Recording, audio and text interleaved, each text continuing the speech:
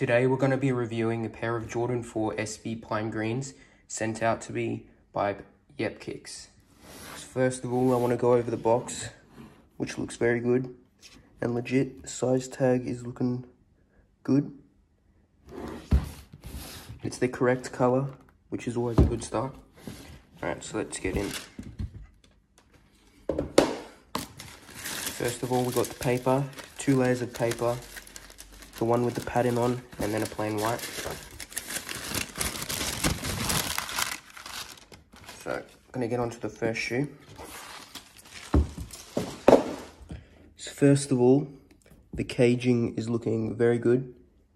It's going with the flow of the shoe, which is how it's supposed to be. The nubuck is feeling very good and alive, and the colors are also on point from what I can see. The stitching is also very good. I can't see any flaws at all, which is always very nice. The tongue is feeling very puffy, you can see. And so is the inside of the shoe. There's the sizing tag, which looks legit, and the insole of the shoe.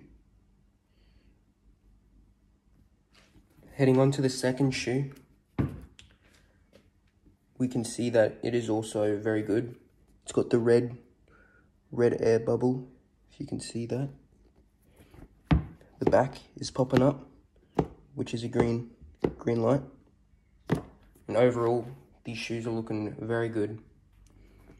No flaws on these. Go pick yourself up a pair at yupkicks.ru.